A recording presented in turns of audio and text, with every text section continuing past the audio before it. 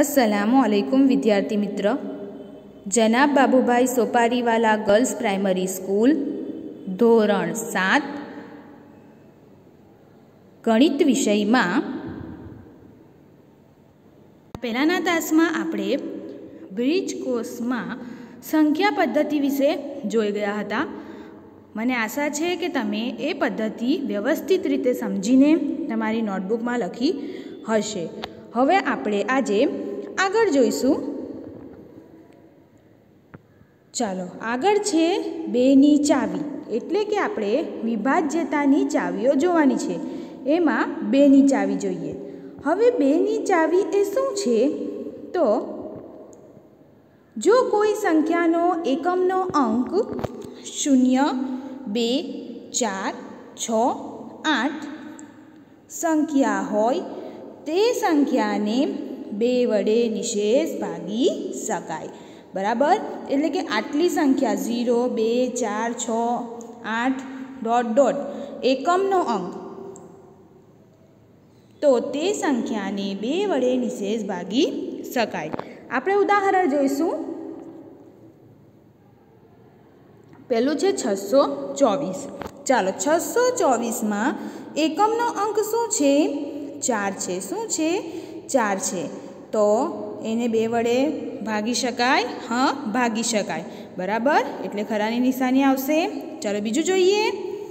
બીજું છે ચાર હજાર પાંચસો સિત્તેર. ચાર હજાર પાંચસો સિત્તેર. એને બે વડે ભાગી શકાય. તો જો એકમનો અંક શું છે? શૂન્ય. તેથી આને બે વડે ભાગી શકાય. તેથી ખરાની નિશાની આવશે. ત્રીજી સંખ્યા જોઈએ. એક હજાર સાતસો એકોતેર. એક હજાર સાતસો એકોતેરને બે વડે નિશેષ ભાગી શકાય. તો અહીં એકમનો અંક શું છે? એક છે. એટલે કે એકી સંખ્યા છે. તેથી એક હજાર સાતસો એકોતેરને બે વડે નિશેષ ભાગી શકાશે નહીં. ચાલો હવે આગળ જઈશું. આ થઈ બેની ચાવી.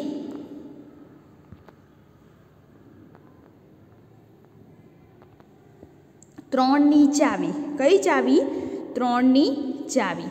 તો ત્રણની ચાવીમાં શું આવશે? જો આપેલી સંખ્યાના દરેક અંકોના સરવાળાને, દરેક અંકોના સરવાળાને ત્રણ વડે નિશેષ ભાગી શકાય, તો તે સંખ્યાને ત્રણ વડે નિશેષ ભાગી શકાય. બરાબર?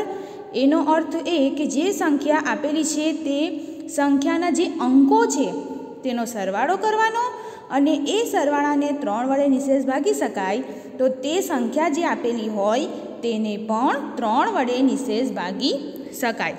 ઉદાહરણ જોઈશું, જેથી તમને વધારે સારી રીતે સમજ પડશે. ચાલો, પેલું છે છસો ચોવીસ. શું છે છસો ચોવીસ? હવે આ જે સંખ્યા છે, એના અંકોનો સરવાળો કરવાનો. એટલે છ વત્તા બે વત્તા ચાર. તો છ ને બે, આઠ. આઠને ચાર, બાર. ચલો, હવે બાર જે છે, એને ત્રણ વડે ભાગાકાર કરતાં શેષ શૂન્ય આવશે. હા, કારણ કે ત્રણ ચોક બાર થઈ જશે, એટલે શેષ શૂન્ય આવશે. તેથી છસો ચોવીસ એ ત્રણ વડે વિભાજ્ય છે. બરાબર? બીજું જોઈએ, સાતસો તેત્રીસ. ચલો સાતસો તેત્રીસ એટલે કે જે તમને સંખ્યા આપેલી છે, એના અંકોનો શું કરવાનો? સરવાળો. એટલે સાત વત્તા ત્રણ વત્તા ત્રણ. બરાબર કેટલા આવશે? તેર આવશે. કેટલા આવશે? તેર આવશે. ચલો તેર જે છે, તેને ત્રણ વડે નિશેષ ભાગી શકાય તો નહીં ભાગી શકાય. તેથી ખોટાની નિશાની આવશે. સમજ પડી ને આ ત્રણની ચાવી પણ તમારે વ્યવસ્થિત રીતે સમજીને તમારી નોટબુકમાં લખવાની રહેશે આગળ જોઈએ.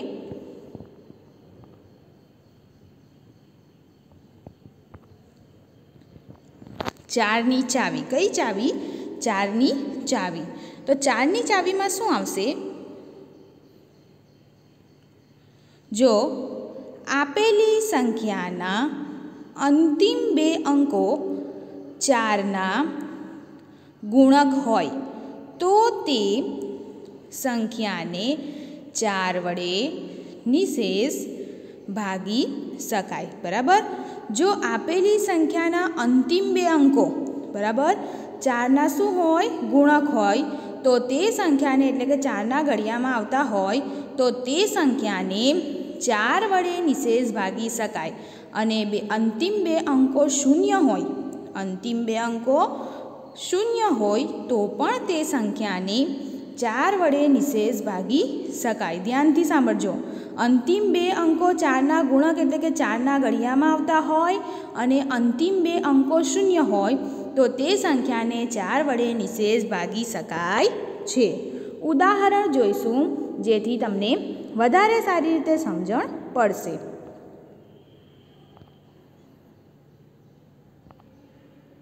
ચાલો ઉદાહરણ છે પહેલું છ હજાર બસો ને ચોત્રીસ.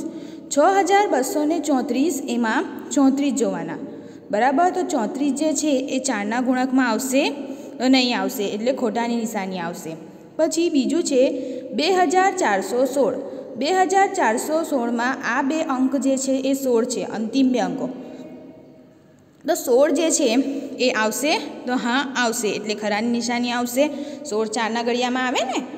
ચાલો ત્રીજું છે છ હજાર નવસો. તો છ હજાર નવસો એમાં અંતિમ બે અંકો શૂન્ય છે. અંતિમ બે અંકો શૂન્ય છે એટલે કે તે ચાર વડે વિભાજ્ય છે. બરાબર? એટલે ખરાની નિશાની આવશે. સમજણ પડે છે ને? ચાલો હવે આગળ જોઈશું.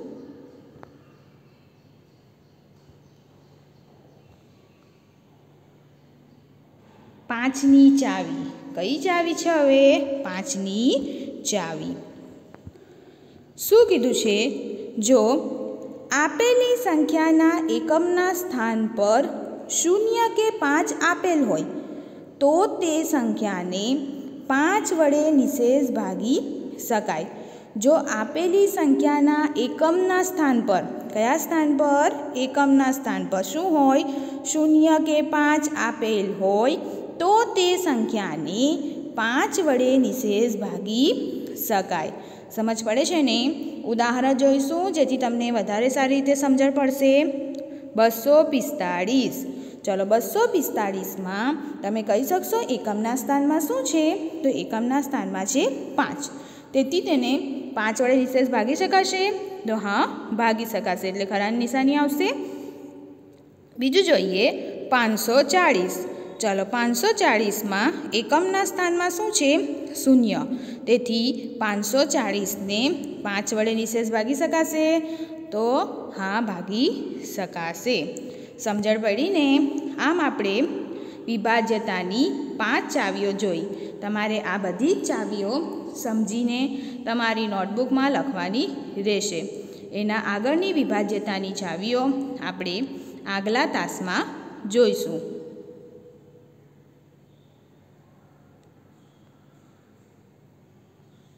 Thank you.